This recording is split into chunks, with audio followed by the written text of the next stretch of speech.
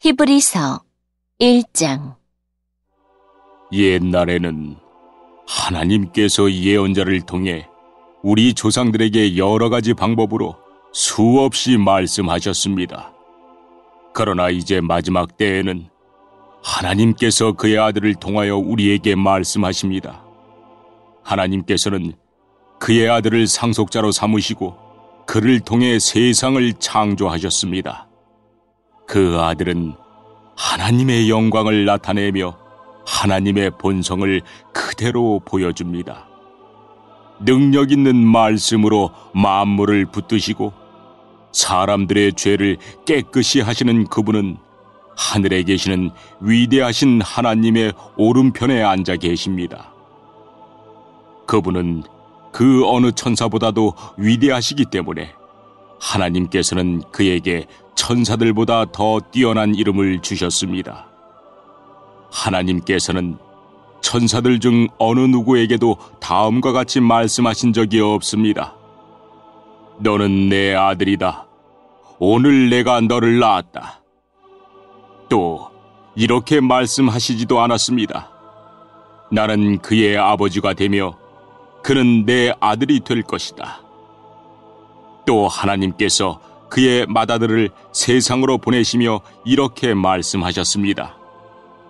하나님의 모든 천사가 그를 경배해야 할 것이다. 천사들에 대해서는 다음과 같이 말씀하셨습니다. 하나님께서 그의 천사들을 바람으로 삼으시고 그의 종들을 불꽃같이 만드셨다. 그러나 아들에 대해서는 하나님 주님의 보호자는 영원할 것이며 주님의 나라를 공평으로 다스릴 것입니다. 주님께서 옳은 것을 사랑하시고 악한 것을 미워하심으로 하나님께서 함께 다스릴 자로 주님을 선택해서 기름 부으셨습니다. 주님의 하나님께서 그 누구보다도 더 큰 기쁨을 주실 것입니다. 라고 하시고 또 이렇게 말씀하셨습니다. 주님, 이 세상이 처음 시작될 때 주님께서 땅을 지으시고 주님의 손으로 하늘을 빚으셨습니다. 하늘과 땅은 멸망할 것이지만 주님은 영원할 것이며 그것들은 옷과 같이 낡아지기 때문에 당신께서 그것들을 겉옷처럼 말아치우실 것입니다.